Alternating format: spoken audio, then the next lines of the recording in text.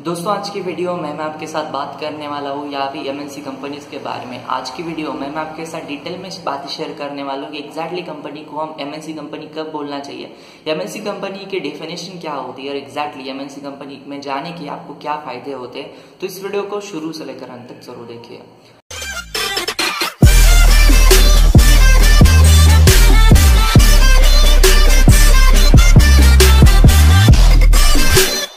दोस्तों, हर एक वो इंसान जो जॉब करना चाहता है, वो अपने आप को एमएनसी कंपनी में देखना चाहता है। क्योंकि दोस्तों, देखिए एमएनसी कंपनी में जाने के अपने कुछ अलग फ़ायदे हैं, लेकिन उसके बारे में हम वीडियो के एंड में बात करेंगे। सबसे पहले बात करते एग्जैक्टली कंपनी एमएनसी कंपनी है या फिर नहीं, इसको कैसे डिसाइड करेंगे? क्योंकि लोगों से आप पूछोगे ये कंपनी एमएनसी कंपनी है या फिर नहीं तो लोग आपको अलग अलग जवाब देंगे। कुछ लोग बोलोगे, ये एमएनसी कंपनी है, कुछ लोग बोलोगे बोलोगे, या फिर ये कंपनी ये कंपनी एमएनसी कंपनी नहीं है। तो एक्जैक्टली एमएनसी कंपनी की डेफिनेशन क्या होती है, और एमएनसी कंपनी हम किस बेसिस के ऊपर डिसाइड करते हैं। तो दोस्तों देखिए, यहाँ पे एमएनसी कंपनी की एक सिंपल सी डेफिनेशन आज के डेट में ट्रेंड कर रही है। ये डेफिनेशन ये है एक्जैक्टली ये कंपनी सपोज़ मान लीजिए सिप्ला की सिप्ला की कंपनी इंडिया में और वही सेम कंपनी अगर अमेरिका में है चाइना में जर्मनी में कैनेडा में तो उसे बोला जाता है एमएनसी कंपनी जो डिफिनेशन है दोस्तों, ये आधी सच है, क्योंकि ये ये जो डिफिनेशन है, ये उन लोग उन कंपनीज़ के ऊपर बोल सकते हैं अप्लाई होती है, जिन कंपनीज़ के बजट बहुत बड़े जैसे अगर मैं बात करूँ जीएस के फार्मास्यूटिकल जॉनसन एंड जॉनसन लेकिन कुछ कंपनीज़ ऐसी भी होती है दोस्तों, जो आपको शायद उन कंपनीज़ के यूनिट बाकी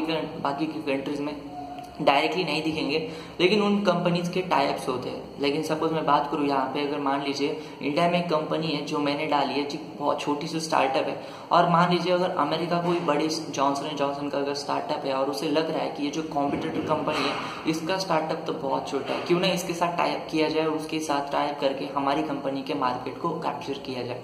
उस वक्त में क्या करेगी कंपनी मेरे साथ कांटेक्ट करके, मेरी कंपनी के साथ टाइप करेगी। मेरी कंपनी के साथ टाइप करके कंपनी के कुछ शेयर्स मेरी कंपनी में भी होगी। कंपनी मेरी कंपनी में इन्वेस्ट भी करेगी वहाँ पे प्रॉफिट भी, कुछ हिस्सा मैं, मुझसे लेगी और मुझे हेल्प भी करेगी।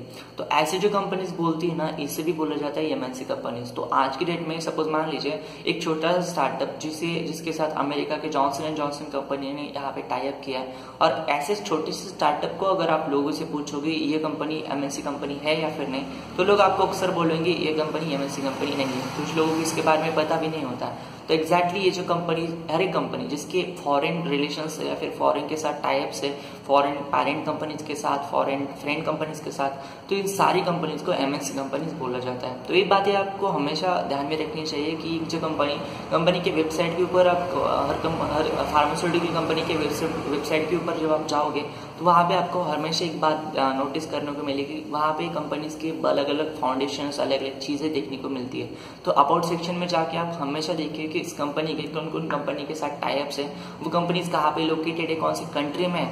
और अगर ऐसा है तो वो कंपनी भी एम कंपनी बन जाती है। यहाँ पे दोस्तों, दूसरी बात ये आती है कि एमएनसी कंपनी में जाने के क्या फ़ायदे होते हैं? क्योंकि दोस्तों, देखिए एमएनसी कंपनी में जाने का हर एक का सपना होता है और हर एक का सपना इसलिए भी होता है कि हर एक इंसान चाहता है उसे सिक्योरिटी चाहिए, उसे अच्छा जॉब चाहिए।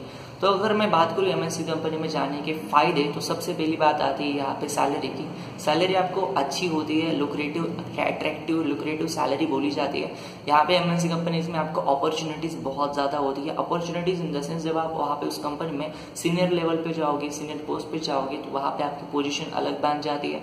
वहाँ पे अगर आप सीनियर बन जाते हो तो आपको फॉरन में जाने के चांसेस होते हैं। बहुत लोग होते हैं जो इंडिया में जॉब करने के बाद छः सात, आठ साल के बाद उन्हें फॉरन में जाने का चांस मिलता है। तो ऐसी बात ही होती है अपॉर्चुनिटीज़ बहुत ज़्यादा होती है। यहाँ पे तीसरी बात आती है एक्सपोजर यहाँ पे एक्सपोजर आपको बाकी कंट्री के, बाकी की कंपनी का अकॉर्डिंगली ज़्यादा मिलता है। क्योंकि दोस्तों, जब एमएनसी कंपनी में जब आप जॉब करते हैं तो वहाँ पे चीज़ें बहुत अलग होती है। As compare to local companies अगर लोकल कोई स्टार्टअप है, और अगर अगर कोई दूसरी एमएनसी कंपनी तो उन दोनों में बहुत ज़मीन आसमान का फ़र्क होता है। फ़र्क इन द सेंस यही होता है कि वहाँ पे यहाँ बहुत बहुत अलग फैसिलिटीज़ होती है, अलग चीज़ें होती है यूएस एफडी के ऑडिट्स होते हैं, आपकी चीज़ें बाकी कंट्री के अकॉर्डिंग बाकी कंट्री के रूल्स रेगुलेशन यूएस एफडी के अकॉर्डिंग चलते हैं तो और ऐसी चीज़ें अगर आप देखने को मिलती है तो बाकी एक कंट्री बाकी कंपनी में जाने के बाद, अगर आप ऐसी कंपनी में काम करके आए हो, जो कंपनी ऑलरेडी बहुत बड़ी है तो आपको एक्सपोजर आपको अपॉर्चुनिटीज़ बाकी की दूसरी कंपनीज़ भी बहुत देना चाहती है।